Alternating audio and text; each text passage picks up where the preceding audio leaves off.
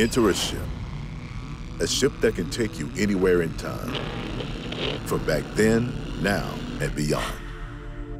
Join us in a first class seat on our inaugural voyage of a five sensory journey. A musical journey back in time.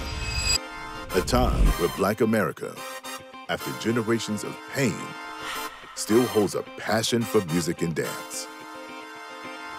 And despite tremendous struggles socially and politically, Black Americans have been able to carve out their own sense of style and culture and develop new genres of music to spread love and unity around the world.